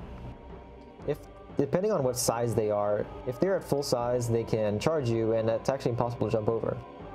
That's why I had to uh, jump on them to start the battle, so that, that whenever you jump on them, they get squished a little bit, and then you can actually jump on them when they charge at you. Very fortunately that RNG worked out for that to happen. And so, uh, by going on the ledges this way, we can actually get to... Normally you're supposed to like shoot lasers and make a block appear and then open up the door to get to this room and go in the pipe. But we went kind of opposite around to another way and got to this pipe. Um, but this is kind of still like the beginning part of the dungeon. There's a tall bookshelf that blocks the way between here and the end. But first we're going to uh, get into one last encounter for experience. And this is against a Shroomsworth. Um, the Shroomsworth drops Supreme Slacks, which I mentioned before, which we need to um, to uh, we have space pants for one of one of the adults, but we want Supreme Slacks for the other one. Um, so this Shroomsworth has 160 HP, and once you kill it, uh, it uh, the intern Shroob will give it replace it replace it, which has 120 HP. If you let the intern Shroob gets one turn, then it will revive the revive the Shroomsworth. So you want to avoid that at all costs. So you have to kill the um, with Mario, and then have Luigi kill the intern Shroob. Very unfortunately, uh, it's not possible for to kill the uh, with only one Flower. That's because it has 160 HP. The most we could do is 148, and it's still barely not possible with the if we did like a first strike and also countered. It's not quite enough damage. Also, we need a lucky hit, and yeah, it'd be hard to do. But we can do a ledge clip and a ball clip out of bounds right there to skip over the bookshelf. Really cool how that looks. Um, so, ledge clips can be used in places where it may not seem that there's even a floor above you, such as like the little alcoves near a loading zone like that. And outside, on top of those uh, those loading zones where there's actually a floor you can stand on, the walls on there are like not coded correctly or something. I don't know the, why exactly they're different from other walls, but it's you can ball clip through those pretty pr consistently. Like outside of those walls, uh, there are very few places you can even ball clip at all. But we can say it Using that, we can stay out of bounds and go past the bookshelf. And that basically takes us to the end of the final dungeon. So we that skips around 15 minutes or so of the final dungeon. There's a whole basement section and a bunch of other stuff to do, a couple mini games. But we're doing the final climb up to the final boss area.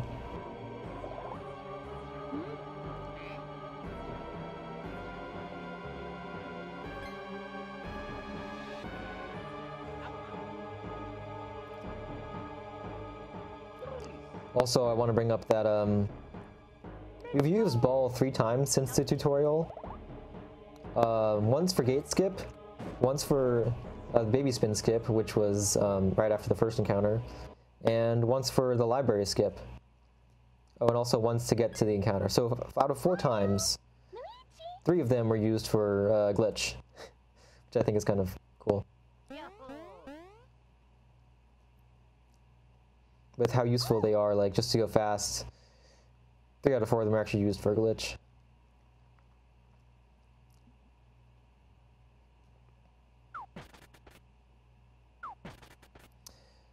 So here's where Princess Peach is being kept.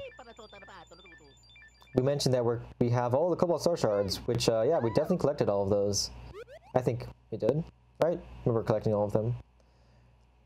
Yeah, but Peach is not happy that they collected, we collected the Cobalt Star. Or, yeah, that we collected two of the Cobalt Star Shards. Or, all five of them. I don't remember.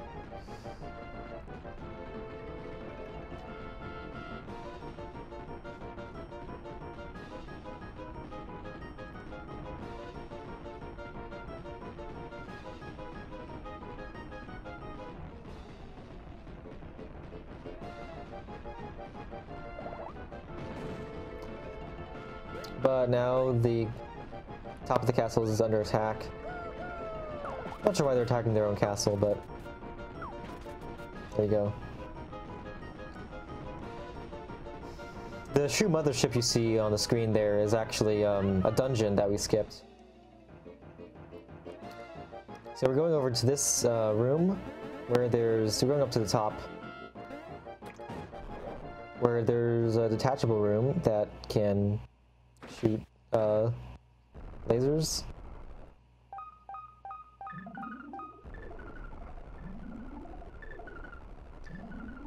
This is the last little mini game before the uh, final boss.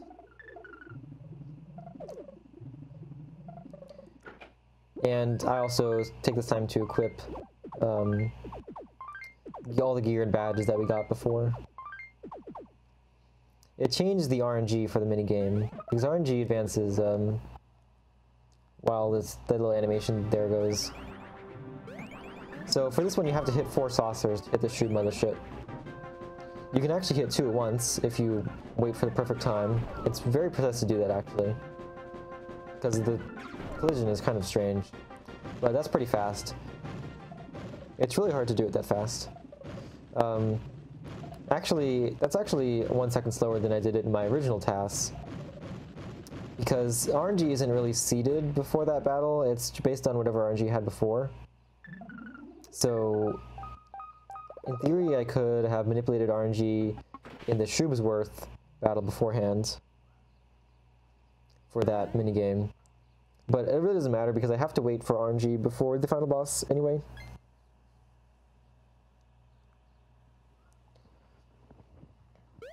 Oh yeah.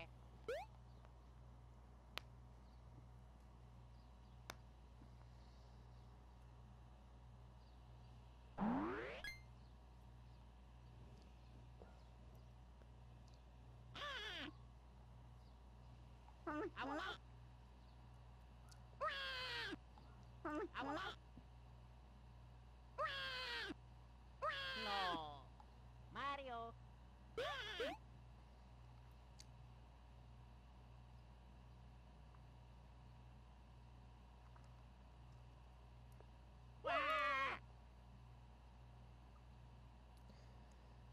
And so here's Princess Shroob, where if you played all of the game, um, you saw her quite a few times. That we didn't we didn't really see her that many times at all. But this will be like finally we get to fight Princess Shroob. But there you go. That's where you see destroy translated. She just says destroy, destroy, destroy, destroy. So we took our uh, damage there to manipulate RNG.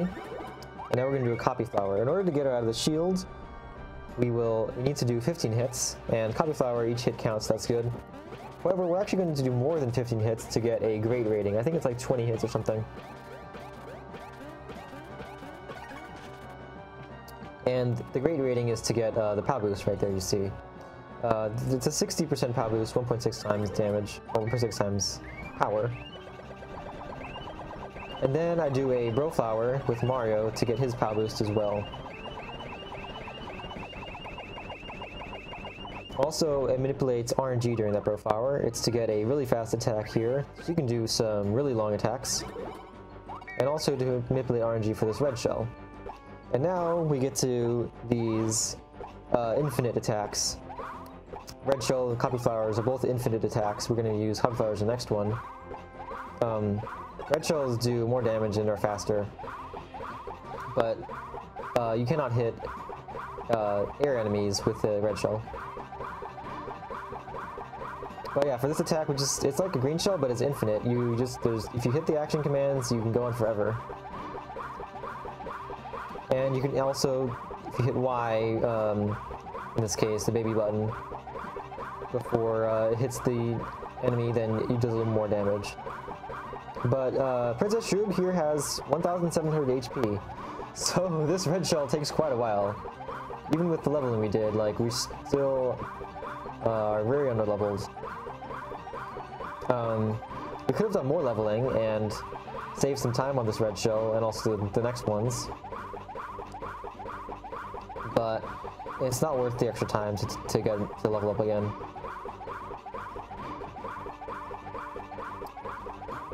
So you can see that there are some lucky hits that I'm getting here. It's really hard to manipulate lucky hits during a red shell because RNG does not advance during a red shell. There's no way to change the RNG.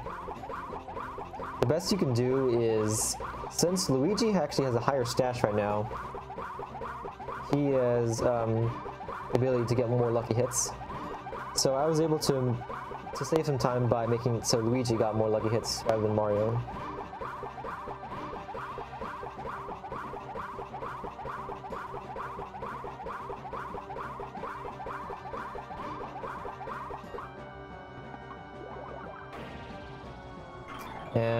Princess Shroob.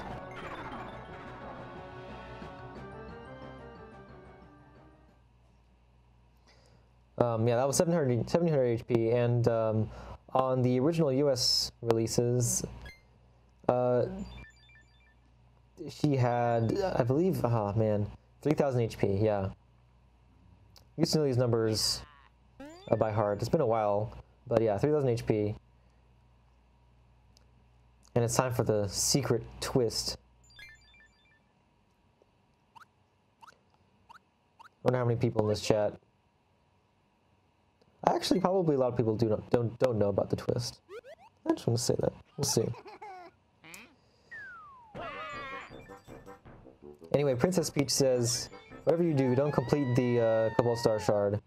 But Baby Bowser does it anyway, just because he wants to be the one who does it. Or something like that. And Princess Shroob says, now it's your turn, sister.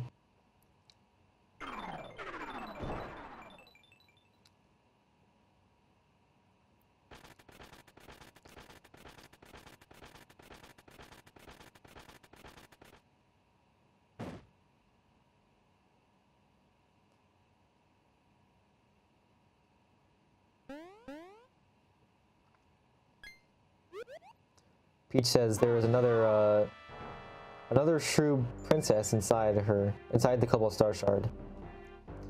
Uh, when she first arrived in the past, she sealed one of the princesses in the Cobalt Star Shard, which was the energy source of the time machine, and then split it in pieces. And so the one that we knew the whole game was actually just the younger and less powerful Princess Shroob.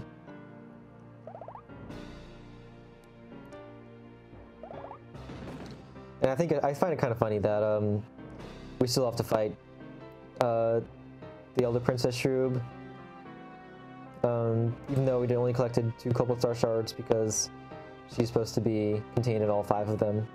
Only if all five of them come together.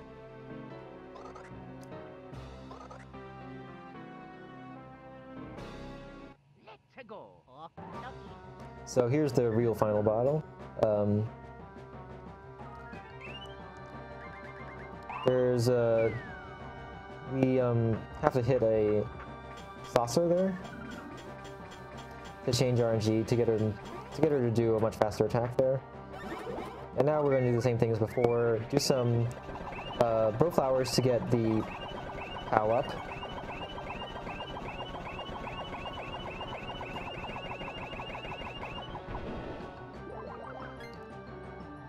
So this first phase of the attack of the battle has 1800 HP and more defense than last time.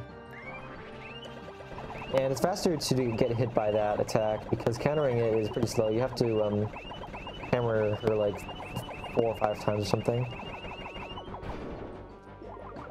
And of course I manipulated Lucky Hit there because it's really easy to do it after a Bro Flower. Unfortunately I have to, um, oh sorry, that was the one we only have to hit it twice.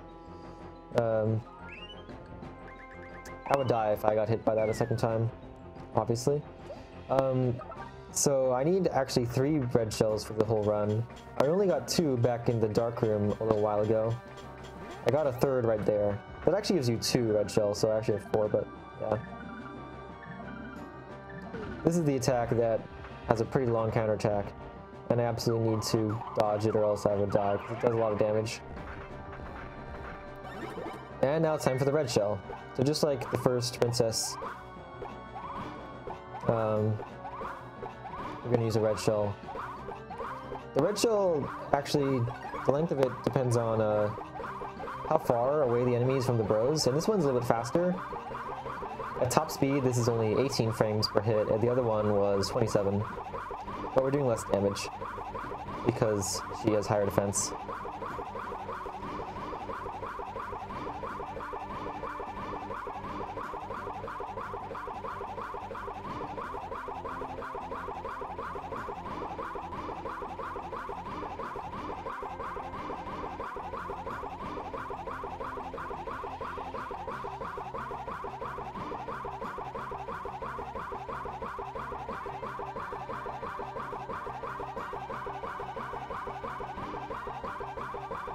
This is um, 60 FPS, but at some point during, uh, it might be down, might be getting down to 30 FPS though.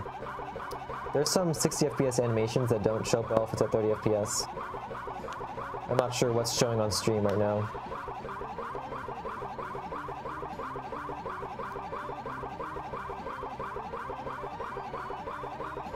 Do we have a minute while you're having this very exciting boss fight? Yeah, go ahead. Mm, actually, no. Sorry. You will have um, Okay. you will have a chance coming up soon. But I, I should explain the beginning of the second phase of the battle. Um, this is the uh, final form. And when she transforms, there's uh, she does a turn right away, regardless of turn order. And each of her body parts attack the head, the feet, and the and the arms or tentacles. And there I got hit to manipulate RNG and get a really fast foot spin attack here. So in order to deal damage to her head, you have to attack the crown. In order to reach the crown, you have to first damage the foot. So we're gonna do red shell on the foot. Yeah, I occasionally have nightmares about this boss too. Well, not for a long time, but I used to have some. Okay, you can uh, use some time now. Fantastic. We have an anonymous $5 donation, as well as a $10 donation from our very own Racerma.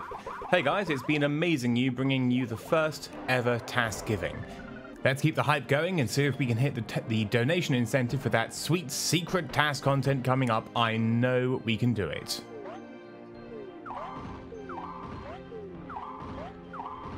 So as you can see, uh, those counters are all doing one damage. That's because the crown is still active and it makes all damage do D1. Except for some reason, uh, that counterattack can go through that defense. I'm not really sure why. uh, to kill the crown, we have to use a copy flower.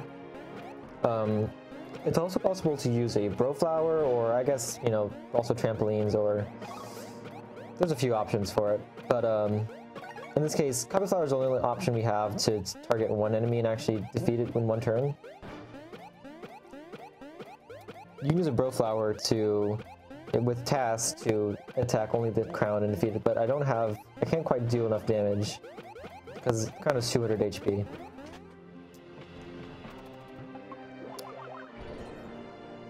And now, finally, we can attack the head. And this is 2000 HP, and you can see how much damage we're doing. This is a long copy flower right here. And I guess I should reiterate, it's very difficult to get copy flowers this long. Um, in RTA runs, uh, people expect to get around 60 hits because at that point it gets really fast, gets top speed, which is 19 frames. You have 19 frames to react and hit the right button. And the window, the window for actually hitting the um, attack is is five frames, so it's very, it's pretty nice. It's not too bad at all. But you have to react to see which bro is coming next. But obviously with TAS, it's you can just take this one infinitely as well, like the red shells. And it's the only um, the only attack that we have that can attack one enemy in the air.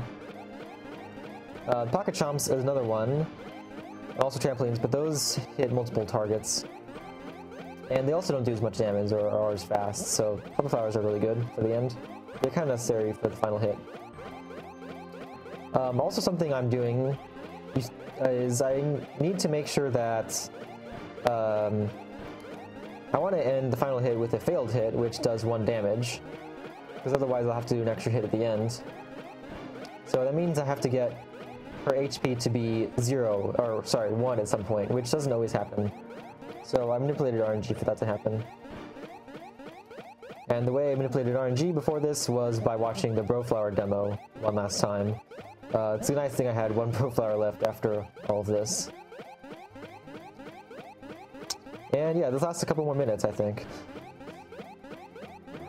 It's pretty ridiculous that this is fast, I think. But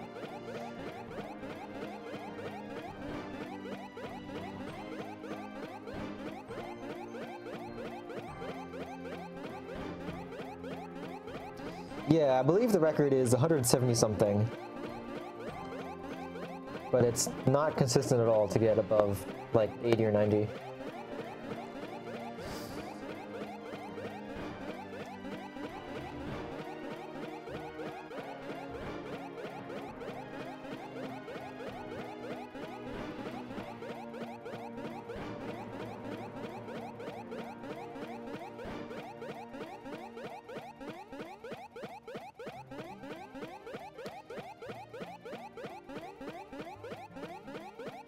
After after this battle, there's still um, there's some more cutscenes. The battle itself will end uh, in a few minutes.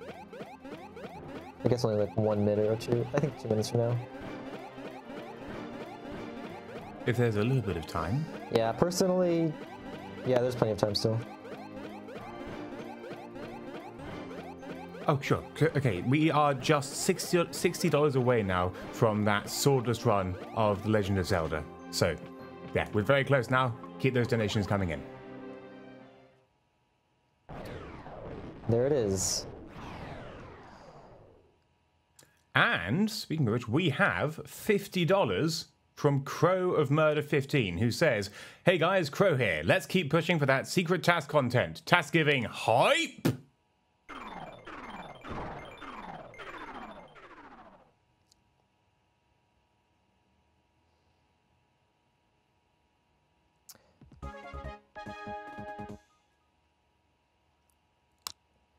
So um, that's pretty much the end of the run for the most part. There's some epilogue and there is also a sort of one more battle, which is like a secret final boss battle, which is not at all important because the stats don't matter for it.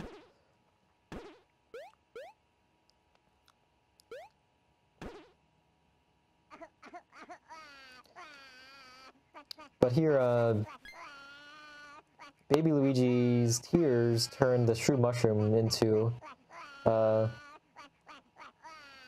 Bowser, Baby Bowser.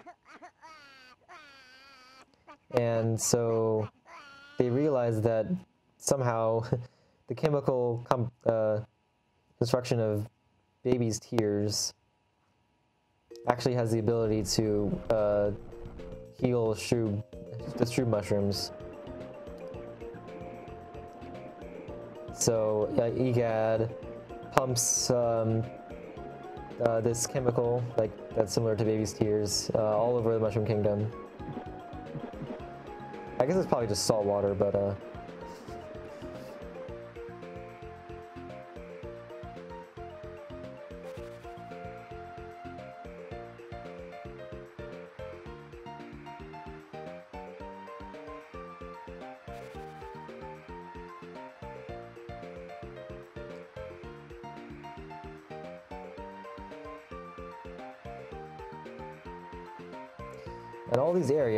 characters we didn't meet.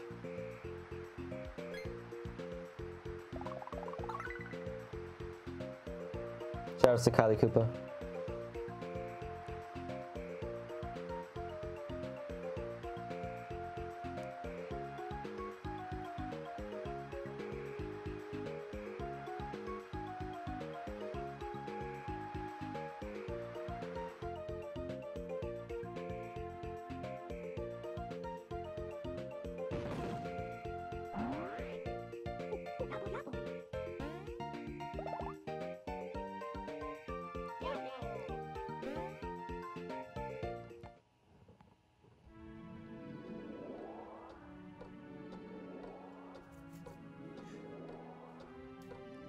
Do have one more donation to read if now's a good time. Go ahead. We have met the incentive for the swordless run of The Legend of Zelda. Thanks to a $75 donation from Ganon, who says, Link, I have come for your sword. I have no idea if that's how Ganon talks. I'm going to assume so. That was great.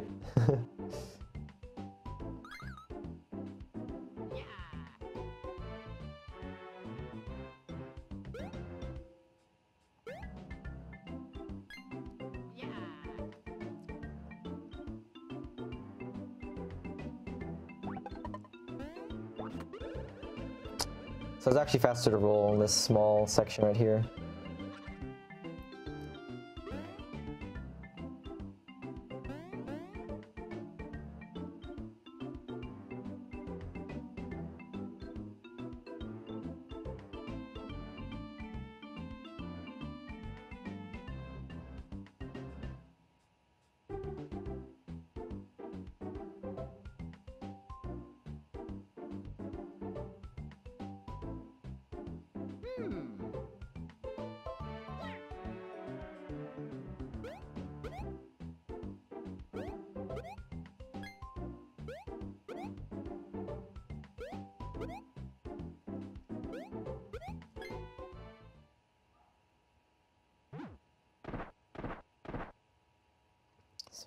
Bowser eats the Shroob mushroom, says Schnarfle. And of course the uh, real final boss has to be some form of Bowser like in every Mario Luigi game.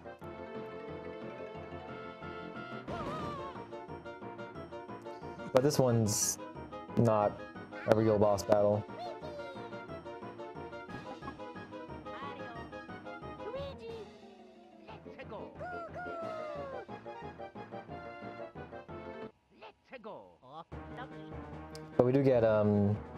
Bowser battle music, which otherwise we wouldn't hear. Because we skipped the Bowser battle in Thwomp Volcano. Or Thwomp Caverns, actually.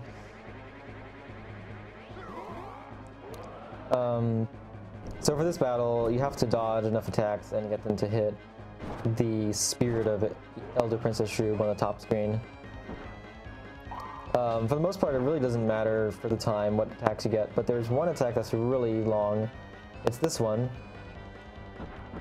where the fireballs come from the sky. It's like about uh, ha uh, half the DPS of the other attacks.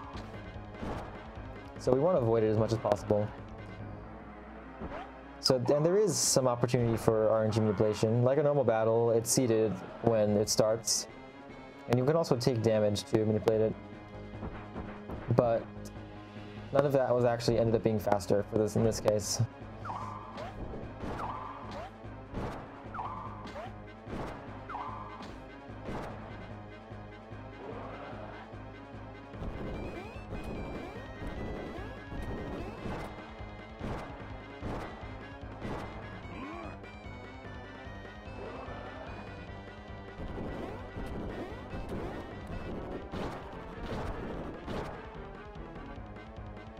Last three hits, we can just get hit too. Saves a little bit of time on waiting for the animations for them to hit uh, the top screen as well.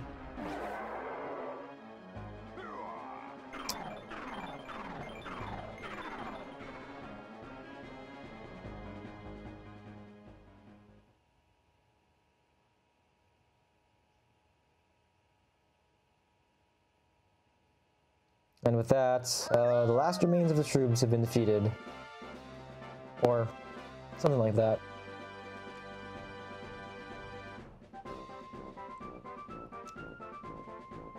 Who knows, maybe there's some shroobs being uh, kept frozen somewhere in the Mushroom Kingdom. Probably not, but maybe.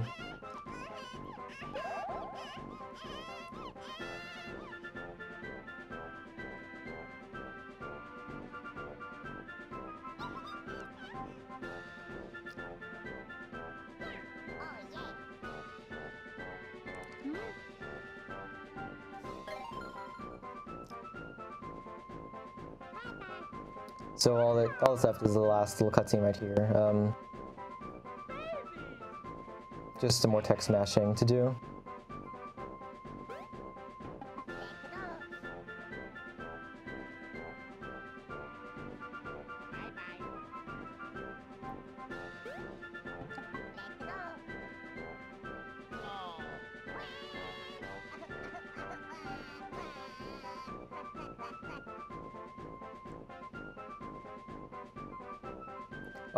Talk all about the Yoshi cookies in this run. so there's a cutscene earlier in Yoshi's Island where Luigi picks up some Yoshi cookies, but we skipped it. So um, now I'm not sure where he's getting the cookies. Some people in the community like to joke that uh, he's these are like flesh cookies or something. He's just peeling off his own flesh to make cookies. I don't know. That's not a really good note to end the run on, but hey.